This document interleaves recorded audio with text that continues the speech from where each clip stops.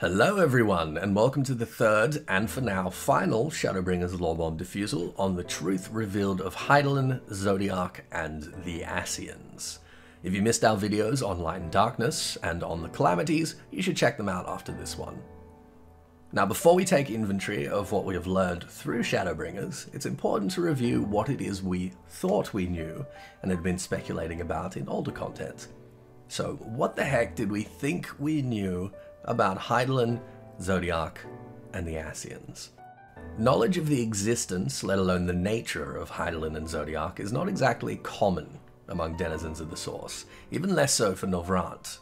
For most, Hydaelyn is just the name of the star or planet upon which we all live. Even Minfilia back in 1.0 had no knowledge of Hydaelyn. The Mother Crystal was a privileged Sharlayan secret. Hydaelyn does not reveal herself readily, and when she does, she seems frustratingly evasive. Our other sources on Hydaelyn and Zodiark, the Ascians, and to a lesser extent Midgardsormr, have only spoken in riddle and allegory until very recently. Most of what we thought we knew about Hydaelyn and Zodiark came from our interactions with the Word of the Mother back in Heavensward, through this dialogue, she described how light and darkness once dwelled as one in the depths of the ethereal sea, in a time before life. She uses herself and Zodiark as synonyms for light and darkness, so we concluded that they must be primordial and universal beings, which preceded any other life of light and darkness, order and chaos, growth and entropy, etc. She told us, vaguely, that the darkness, i.e. Zodiark, coveted power, broke the balance between them and forced her to banish him, subsequently sundering the star into shards. Given that we had no narrative for anything in between, we also concluded that this must have happened, as well, at a primordial time, before the existence of life, and that the universe as we know it must have begun with this sundering. Since that time, the essence of Hydaelyn has dwelled within the lifestream at the heart of our star as the will and consciousness of the world. All we really had to contradict Hydaelyn's account was the Ascian insistence that she is in fact a kind of parasite burrowed into the heart of the star. And what of the Ascians? We spoke about the sundering and rejoining in the previous video. We thought that through this wicked work, they sought to return the multiverse to its natural state, from which Zodiark could presumably wrest rightful supremacy. Beyond their desire to restore the natural state of things, we had very little understanding of the Ascians' motives. It seemed intuitive enough that Zodiark would be able to manipulate people into his service somehow, even in his excised condition, after all, as the Warrior of Light, we often seem compelled to champion Hydaelyn's goals in relative ignorance of her ends. All we knew for certain was that there was more to the Ascians than what appeared. So what do we know now? Well, for starters, we know that man has always created its own gods. Hydaelyn and Zodiark were both first summoned roughly 12,000 years ago. There was, in fact, a world before them, a pre-sundered star upon which thrived a Hellenic utopia, the nation of Amaurot, self-proclaimed stewards and administrators of the world.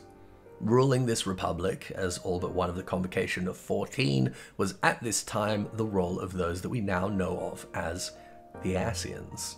The supremacy of the Amaurotines seems to have been due firstly to their immense reserves of bodily ether, and secondly, their ability to wield creation magics.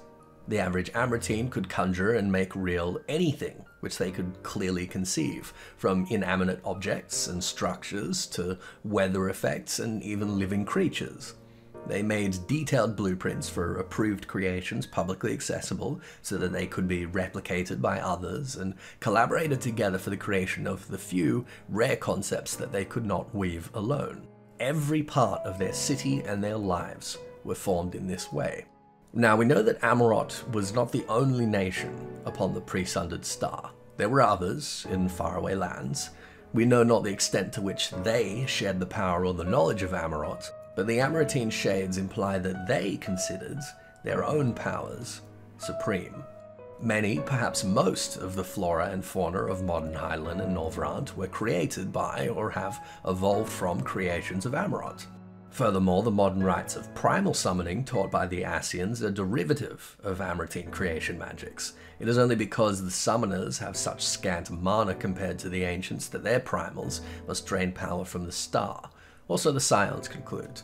So, sometime over 12,000 years ago, the star was suffering the throes of a terrible and terribly vague scourge. We have no idea what caused it, and neither did the average citizen of Amaurot. All we know is that it spread across the planet, a cacophony of sound from beneath the earth which would distort all creatures that heard it, and cause those capable of creation magics to lose control and compulsively weave their own nightmares into reality. Fiery rain and an incessant spawning of nightmarish beasts, so we're told. Eventually, it reached Amaurot. We've experienced a simulacrum of the results firsthand, and so the convocation responded with a desperate solution supported by all except one of their number. The 13 remaining members called for the sacrifice of half of all Amaurotines to fuel the creation of a god, a will for the star, capable of doing what was necessary to save itself and its inhabitants. Zodiark, the first primal.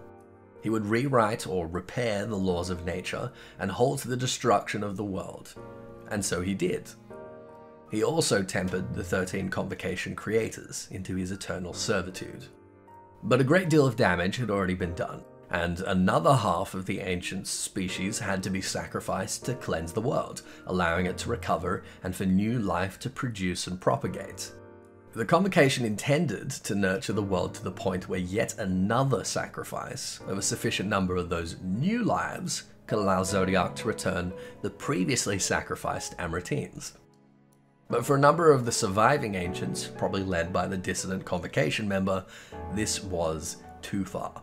Their position was that enough blood had been spent to feed the Amaurotines' dark god, that the new and innocent lives should not be forfeited to return those that had been lost.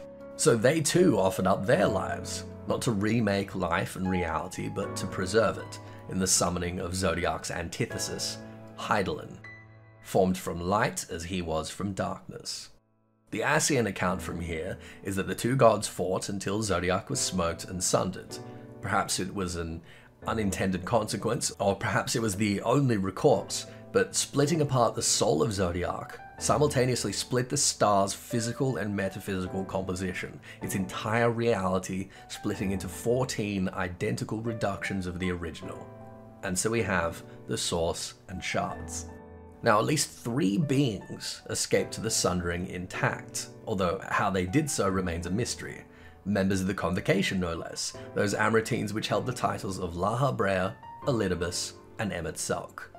They maintained their godlike powers, relative immortality, complete memory, and remained tempered by Zodiark. Once they made sense of what had befallen, the trio determined to pursue the original plan to restore their ancient race by forcing the shards to rejoin in restoration of Zodiark and of their world, however long it took. We talked about this process at length in the previous video. If you want to dive deeper, you can do so there. Together, Lahabrea, Elidibus, and Emet-Selch identified the pieces of the sundered souls of their fellow Convocation members throughout the shards and employed them into the conspiracy, Thus were the Ascians born as the eternal harbingers of chaos upon the source and doom upon the shards, at the genesis of our new world 12,000 years ago.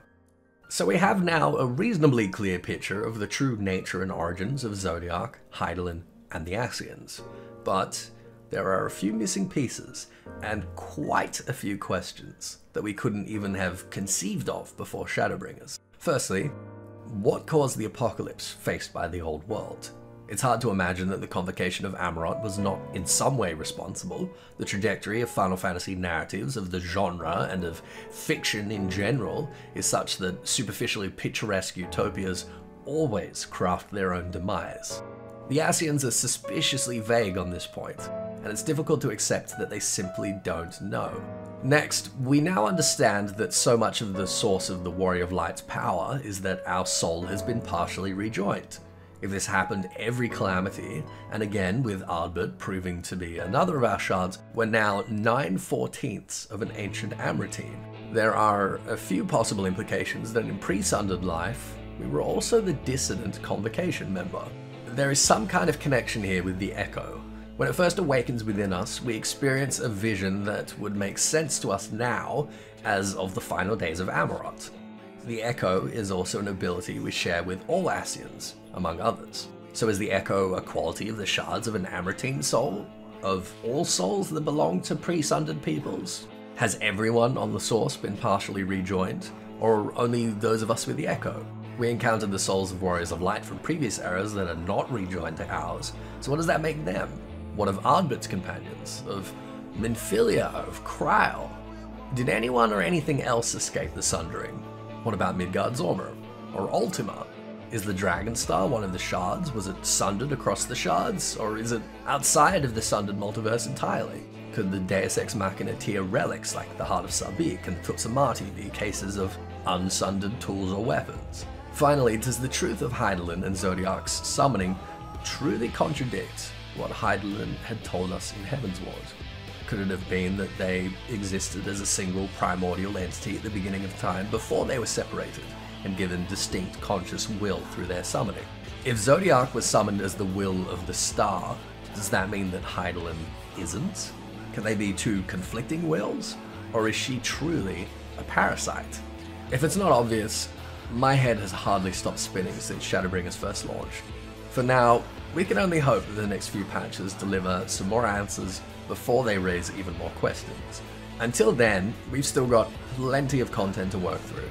Now that we've covered the biggest lore bombs of the Shadowbringers MSQ, it's time for some lore tours. Norvrandt is full of fallen civilizations to discover after all, to speak nothing of time travel shenanigans, various void nonsense, and recurring mention of Tartarus. Keep your eyes peeled for the next videos. Thank you so much to my patrons as always, without whom the next videos might not be possible.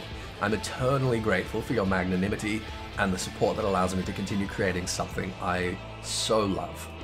If you would like to consider becoming a patron, you can find a link in the description. If you already are, then check out the description for a link to our community Discord and PM me for access to our patron exclusive channel where I post behind the scenes information, early viewing links, and discuss current and future videos in production. Patron or no, thank you all very much for watching. Subscribe and drive a car into that stupid bell for more content. And I'll see you next time.